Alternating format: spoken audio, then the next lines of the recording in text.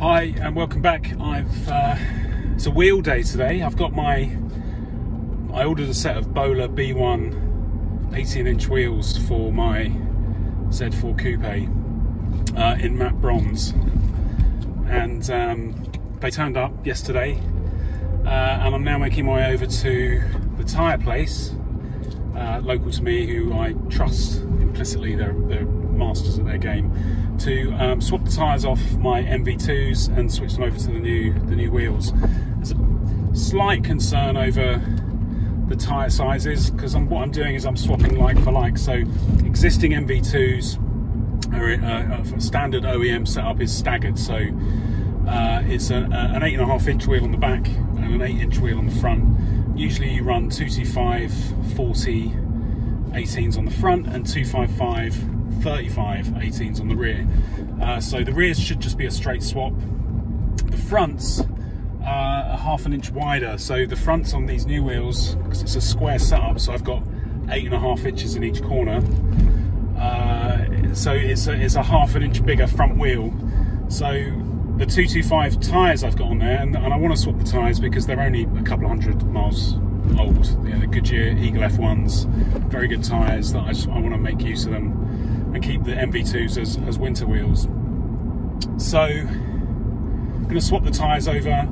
Hopefully it won't look too stretched. I don't want it to look totally JDM or um, overstretched, but I want it to look as flush as possible. That's the hope. That's the hope. If it doesn't work, I might have to look at getting some two three fives for the front. But the danger there is you start running into um, clearance issues, uh, and I really don't want it to rub on the inside of the wheel arch. So it's a bit of a gamble, it's not going to, you know, relatively cost effective to change the tyres over on these new wheels and, and, see what it looks like and live with it for a bit. So that's where I'm heading now. Get it done, get it looked at. Uh, the offsets are brilliant on these. So I had the, the Bola B1 wheels, you can choose your offset. So I don't need spacers. So effectively I've been able to manage to fill the arch. So the rears I've got as an offset of, they were on, on the MV2s, they're 50. I've got the offset at 33 there. So that brings it out, I think about 17 mil, which is perfect. Um, and the fronts I think come out about 13 mil. Uh, their their offset is 40 instead of 47. So uh, I'm really looking forward to seeing what the what the feel of it is, how flush it looks, because it, has got the space to come out. Um, the other thing I want to make sure with the tyres uh, and not making them too high profile is I might want to lower this a little bit in the future. So I need to just sort of future-proof my options with these wheels and, and, make sure that I've got the ability to drop it down by like 30 mil or something with a set of Eibach springs. Um, but yeah, let's see how we get on. The wheels are next to me in the car and uh, we're heading there now, so see how it goes.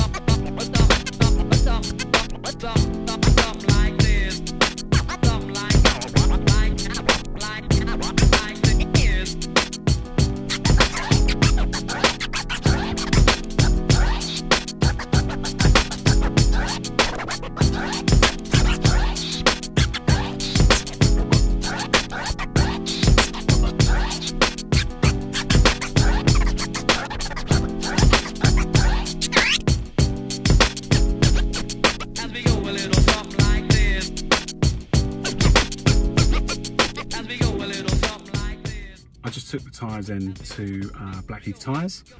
I should not have worried at all.